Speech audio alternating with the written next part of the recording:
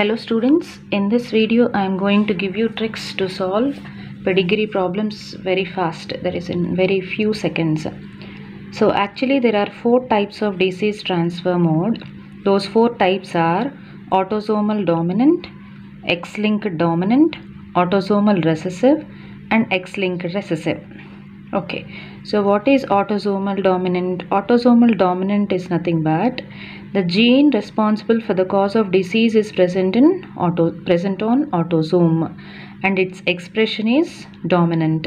That means it can be expressed under homozygous dominant condition of that gene or heterozygous dominant condition of that gene. Next coming to X-linked dominant mm, mode transfer mode. So X-linked dominant transfer mode is nothing but the gene which is responsible for the cause of disease is present on X chromosome that is sex chromosome and it is dominant means its expression is under dominant condition of the gene that can be homozygous dominant or heterozygous dominant. Next coming to third type of uh, disease transfer mode that is autosomal recessive autosomal recessive means actually autosomal means the gene which is responsible for the cause of disease is present on autosome and that gene will be expressed. It expresses its trait under recessive condition. Recessive condition means homozygous recessive condition. Okay next coming to uh, fourth one. So that is x-linked recessive trait X-linked means the gene responsible for the cause of disease is present on X chromosome that is sex chromosome and it is expressed. Its expression is recessive. Okay.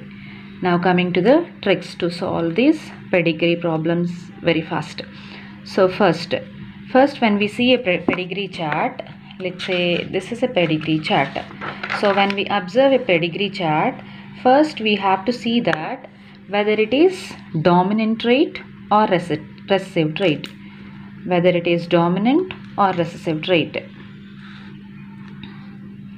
dominant or recessive. So by applying a trick we can come to a conclusion that whether it is dominant trait or recessive trait if it is not skipping it don't skip generations. If it is not skipping generations then that is called as it don't skips generations.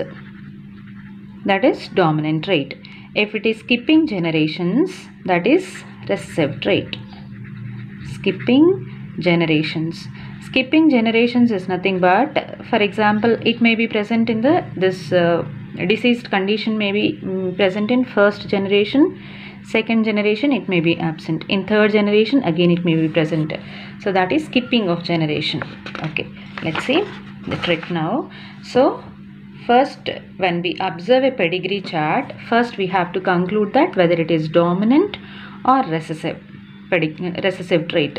So if it is not skipping generations don't skip generations that is dominant. If it is skipping generations then it is recessive type of trait. Next coming to so when we conclude that it is dominant, if we conclude that it is dominant uh, uh, trait, then we have to identify that whether it is autosomal dominant trait or X-linked dominant trait. For that we have to apply next trick. Next trick is whether it is showing crisscross inheritance or not. Crisscross inheritance is nothing but when the disease is transferred from mother to son and father to daughter. That is called as crisscross inheritance. Or we can say that disease can be transferred from mother to granddaughter and father to grandson but not from mother to daughter and father to son. That is called crisscross inheritance. So if we observe crisscross inheritance that can be now we can conclude that that is x-linked dominant. If there is no crisscross inheritance in the pedigree then we can conclude it as autosomal dominant. Okay. So after coming to a conclusion that it is autosomal dominant also we can observe. We, uh, by using some other tricks we can confirm that it is autosomal autosomal dominant. What is that trick? Affected parents can have unaffected children.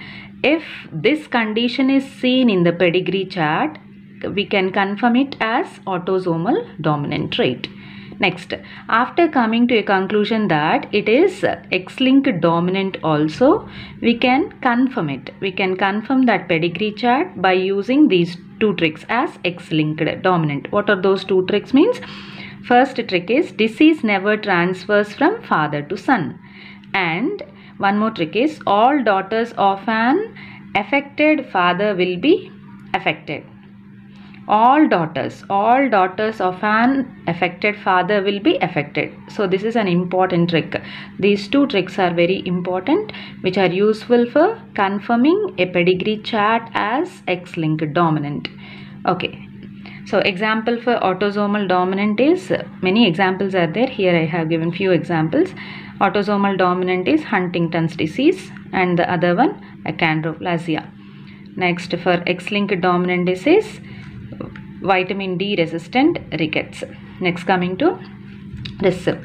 So if we uh, come to a conclusion that if the pedigree chart is recessive trait then we have to conclude that whether it is autosomal dominant autosomal recessive or X-linked recessive by looking for crisscross inheritance.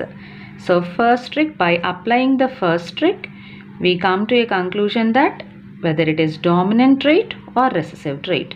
If we conclude that it is dominant, then by observing the crisscross inheritance, we can we can conclude that whether it is X-linked or autosomal, X-linked dominant or autosomal dominant. If crisscross inheritance is seen in the pedigree, that is X-linked dominant. If crisscross inheritance is absent, that is auto, autosomal dominant. Right. Now, it, if it is not skipping generation, if it skips generation, generations that is recessive trait. Okay. In recessive trait also we have to conclude that whether it is autosomal recessive or x-linked recessive by looking for the second trick that is crisscross inheritance. So we know already what is crisscross inheritance. If crisscross inheritance is shown in the pedigree chart then we can come to a conclusion that that is X-linked recessive trait. If there is no crisscross inheritance, that is autosomal recessive trait. Okay. So after coming to a conclusion that it is autosomal recessive, by using a trick, we can confirm it. We can confirm that pedigree as autosomal recessive trait. That trick is unaffected parents can have affected children unaffected parents can have affected children. So by using this trick, we can confirm that the given pedigree is showing autosomal recessive trait. So for example, sickle cell disease. Next coming to X-linked recessive. So by using these two tricks, two tricks, we can confirm that we can confirm that it is X-linked recessive. So first trick is males are more affected. When males are more affected, then that is X-linked recessive. And we can also observe uh, that pedigree by using one more trick. That is disease transfers from father to daughter or from mother to, uh, mother to son. But disease never transfers from father to son. Already we discussed it in crisscross. That is only crisscross inheritance. So for example, color blindness. Okay, so these are the tricks to solve pedigree very fast without taking much time. Okay, after these uh, tricks, let's solve uh, four different types of pedigree chart. One one chart for one one one one example for one one uh, type of trait or one one type of uh, mode of disease transfer that is autosomal dominant x-linked dominant autosomal recessive and uh, X-linked uh, recessive. Okay, let's start with it. Okay, now this is a pedigree chart. Okay, first by looking at a pedigree chart, what we have to do, we have to come to a conclusion that whether it is dominant or recessive trait. So dominant trait means it won't skip generations. Recessive trait means it skips generations. Here you see here there is no this is first generation. This is second generation. This is third. So actually here there is here in first generation disease condition is there. Second generation also diseased condition. Third generation diseased condition is not there. But we can think that it is so that we can think it is recessive trait. But here actually both the mother and father are not affected so that all the children are not affected. So this is forming completely another family tree another family tree. So what can we say now?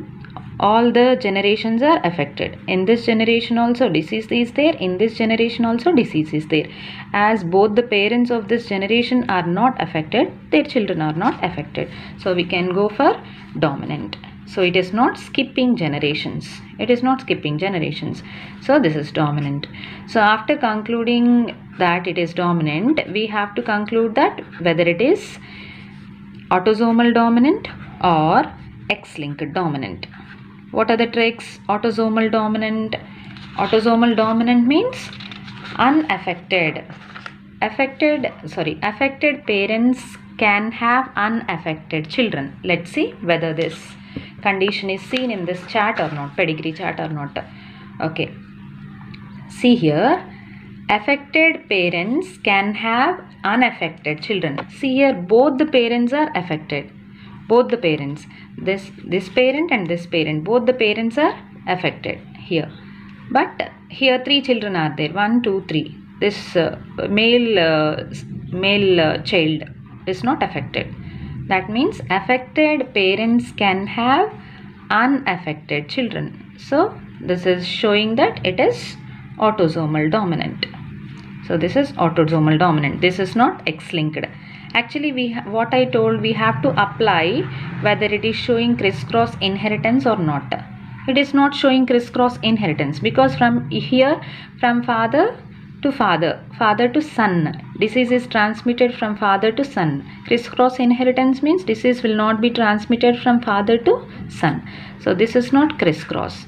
As it is not crisscross obviously it becomes autosomal so after concluding that it is autosomal dominant, we have to see for another trick to confirm that it is autosomal dominant. What is that trick?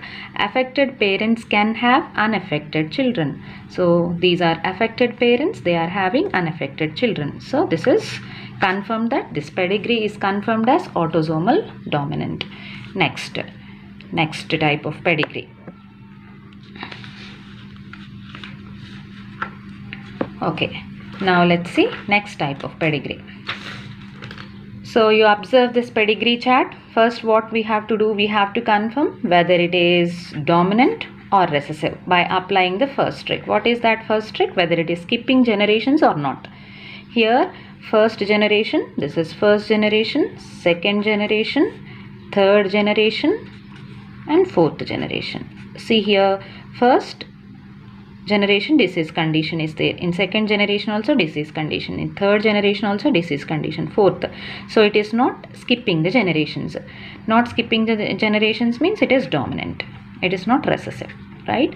Okay. After uh, concluding that it is dominant we have to apply a trick. What is that? Crisscross inheritance. Whether it is showing crisscross inheritance or not. That means whether disease is transmitted from father to uh, daughter uh, or mother to son or not. See here, disease is transmitted from father to daughters. All three daughters are affected. When the father is affected, all three daughters are affected. Okay. Here also disease is transmitted from mother to son. Here also disease is transmitted from mother to son. Here disease is transmitted from mother to son. Father to daughter. Okay. So what can we say? It is showing crisscross inheritance. So when it is showing crisscross inheritance, what can what can we say? This is X-linked. X-linked dominant. Dominant trait. Okay. So for X-linked dominant trait, so we concluded that this pedigree chart is showing X-linked dominant trait. To confirm, we can use tricks. So what are those tricks for X-linked dominant? Disease never transmits from, transfers from father to son. Let's see. Disease never transfers from father to son. Here, here mm, disease is not transferring from father to son. See here, son got affected, transmitted from mother. Here son got affected, transmitted from mother. Here son got affected, transmitted from mother, but not from father. So disease never transfers from father to son. Next, one more trick is all daughters of an affected father will be affected. See here, father is affected and all daughters are affected. Here also, father is affected. This one daughter, only one daughter is there, one daughter is affected. So, affected, all daughters of an affected father will be affected. So, both the tricks are uh, applicable here.